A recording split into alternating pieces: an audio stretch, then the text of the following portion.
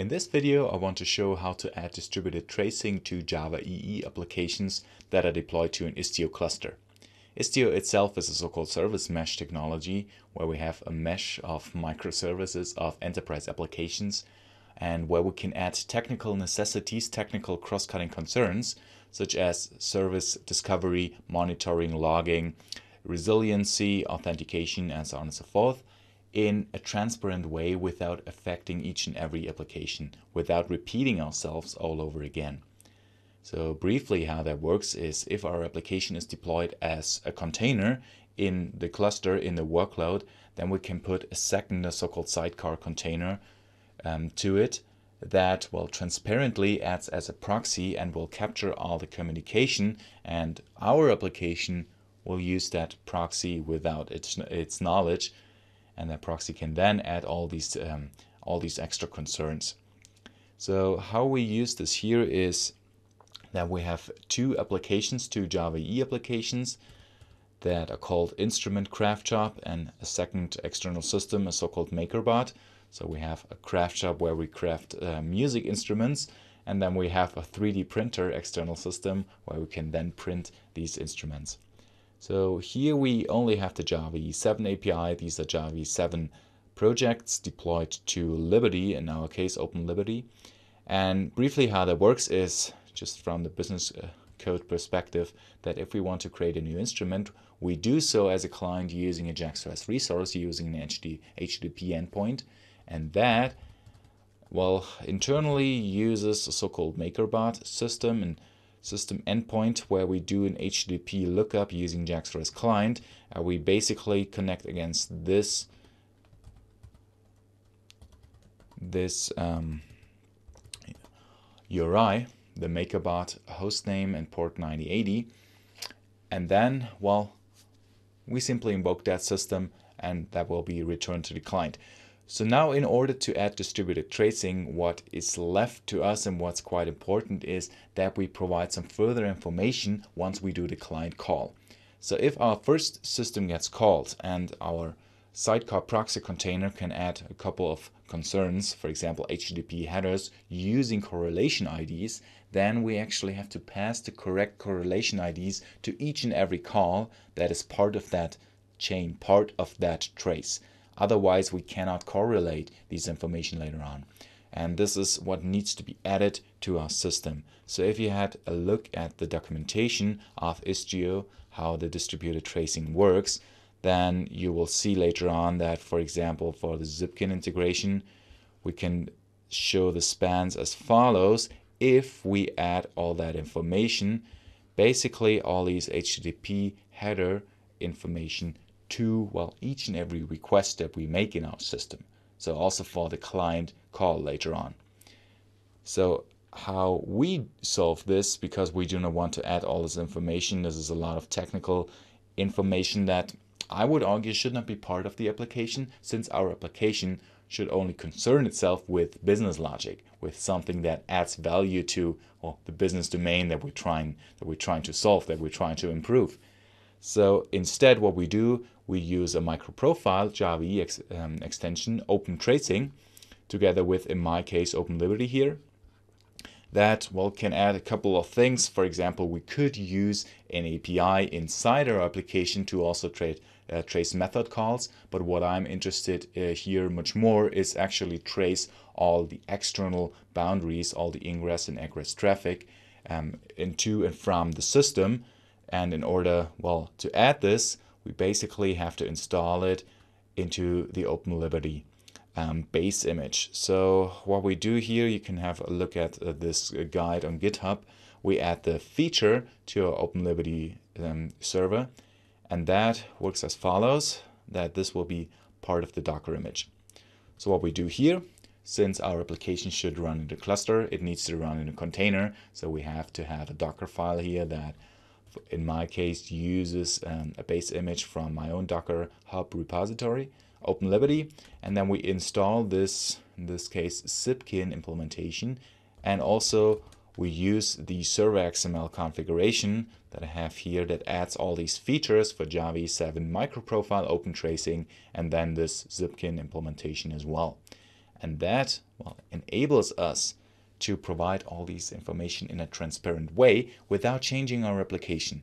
So basically what it does here is that it provides all this information that originally comes in into the system and then provides all this, well, into the client call. And in order to showcase this, I will actually extend this application here. And just for us, for Insights, I will log all the headers that come in into the system from the HTTP request. So what we do here is that we well log all the headers that come in and later on that we can see that, we, that we can validate that all the correlation IDs are correct. If we do a single request, that both systems actually have to log that information and then we as humans can compare them. So let's say request get header names, we should get all the header names that comes from the HTTP request and these header names, well, unfortunately are old uh, enumeration um, style um, style types. So we header, we have to um, loop over them in this way. Request get header for a specific um, header, and we want to well print that. So let's say our header should be this information. And that's that's it. Just just for the sake of insights to log it. In a second system the MakerBot system that's even simpler we also have a resource for the jobs where we can log that information for an incoming request. So we also log the headers from our request that will be added with the add context annotation into our JAX-RS resource method and then we can log all the requests, um, all the request headers of an incoming request. So in order to try this out, in order to deploy this, what we have to do first is to build our projects and then to distribute a Docker image to the cluster using, um, using a Kubernetes deployment. Docker builds, to a specific name, I will use a private um, Docker registry server to distribute it and to pull it later on from my Kubernetes environment. Um, Docker push as well. So we push this and you already see, well, this is the reason why I use a thin deployment um, approach with the copy, copy on write file system um, layer from, from Docker. I only have to transmit what has been changed and my WAR file is super small since all the implementation is done in the application server, in the Java EE server. And the same is true for Open Profile extension that just has been activated in my server and I don't well have to ship more implementation where I'm actually not interested in because what I'm shipping, the last layer, should only be the business logic that my application is trying to solve. And that is tiny and therefore it's super fast to add this. So my deployment, that is my Kubernetes deployment that will be deployed to my Kubernetes slash Istio cluster that deploys a deployment and a service and also an ingress. And what this does, let's deploy these two things for now for both the MakerBot system and the instrument craft shop. So if we look into that, it will deploy, well, same story here, a deployment, a service, and an ingress for the MakerBot system. The same is true for the instrument craft shop. And if we look into the MakerBot, then we see that, well, this is the same story. We have a deployment using one container here and a service where the service name MakerBot actually matches the URI that we called in the first place from our instrument craft shop gateway. So we use the uh, URI, that logical service name MakerBot with port 9080 and nothing else. We did not add any other constraints in our or any other concerns in our application code. We simply say call that system. Everything else, including tracing here in this case, will be added from well, from the environment, from the cluster, from my Istio technology here. So if I look into this right now, then it should be already starting up. That is my cluster where I have the pod and you can see that actually internally it has two containers, not just one, although we only specified one, the main container. What it does that Istio transparently adds a second container, and if we a, ask our cluster, kube control, get pods, please give me the pods of another namespace, the Istio uh, system namespace, and we see, well, we have a so-called sidecar injector, and that is actually responsible to add this second container without our knowledge. That is done transparently. We do not have to specify that, not even in the deployment YAML in our Kubernetes descriptor files.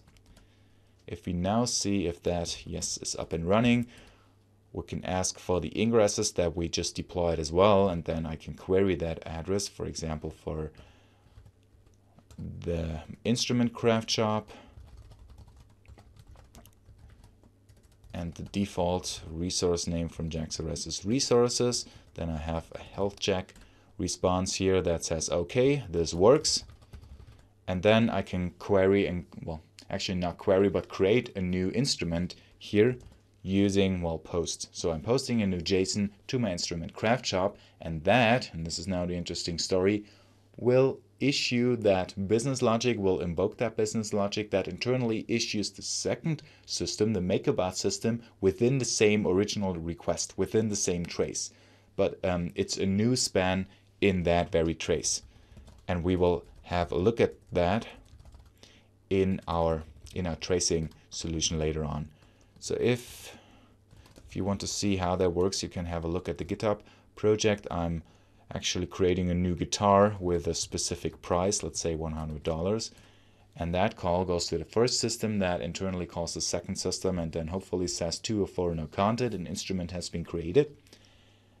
And we can have a look at the log files, of course, but also the tracing in our Zipkin system. So that is the Zipkin um, tracing system that comes from Istio, that runs in our Istio cluster. And if we search for, let's say, the newest trace that has been issued from the instrument craft shop system, that actually we see already a span here that has been made before where we went to the first system, the instrument craft shop, using a so-called default route that is part of Istio, and that also calls a second system. So the default route name, well, that is created between all the services per default, but we can also create our own route rules that look very similar to Kubernetes resources. And actually it's a Kubernetes extension, so-called route rule. And it's, well, it's a best practice to add these route rules for our systems to per default have a, uh, a route to all these services. So let's do this. We add this for Istio subfolder kube control apply deployment Istio subfolder and the nice story about that is that we can use the kube control command line tool to also add well resources that originally not are not part by Kubernetes. These come from Istio, but uh, but still we can query for well route rules for example, and now it will show us the default route rules here.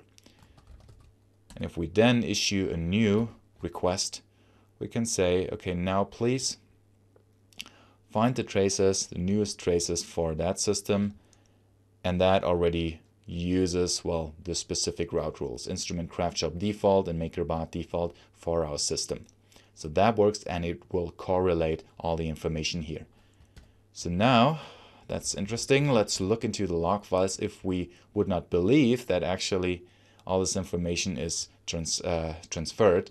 So this is the reason why this already works. So if we would not provide all the header information, then we would not see the, tra and the, uh, the traces and the specific spans. So that this very request within the MakerBot system is actually part of that bigger trace. So let's have a look at the log files. First of all, for our instrument craft shop part. And since we are running multiple containers here, we would actually have to specify the container where we want our main container, our actual application running. And then we can see kube control logs of our MakerBot that a couple of information has been has been logged. And the last one should be a trace ID 2671 and here in that request we see that request has the same trace ID and a different span ID. That makes sense because it's the same overall trace, but a different span within that trace. So here we see that is the log for our instrument craft shop system. That should be the original request ID 81 and so on and so forth. And if I open the correct one, yes, we see that here in our tracing system, that is the very trace we're looking at right now. So I added this log information just to be sure, just to validate that we're actually passing all these HTTP header information. And that comes now from the Open Profile, my um, Open Tracing micro profile extension that has been added to our application server. And now again, the point is that we want to add all all these cross-cutting concerns without affecting our application. That is now the idea behind service meshes. So it's quite similar actually to the original idea of Java EE. We want to add our business logic to our application, to the Java code. Everything else is part of well the environment that before only was the application server. So all the application servers provide the implementation to, to what we actually want to do. We only code against APIs in Java EE. And now service meshes take that idea further and include further technical cross-cutting concerns that are required in cloud-native applications, in cloud-native environments, such as monitoring, uh, tracing, um, service lookup, as you saw, we can add resiliency, we can add timeouts, circuit breakers, and so on and so forth, all to these route rules, because now the proxy container, the second sidecar container that is running, can take care all of, of all of that, and our application, well, does not need to care right? So we're simply issuing an HTTP call to that to that endpoint. We're not doing an HTTPS call, only HTTP authentication and uh, security can be added by that proxy container as well. And the same is true for circuit breakers and resilient calls. Everything else will be done from the outside from our Istio cluster. So you can have a look at, at the documentation for Istio. I recommends to have a look at that for distributed tracing and especially also for all the other concerns and you can have a look at the instrument craft shop uh, project on github. Thanks for watching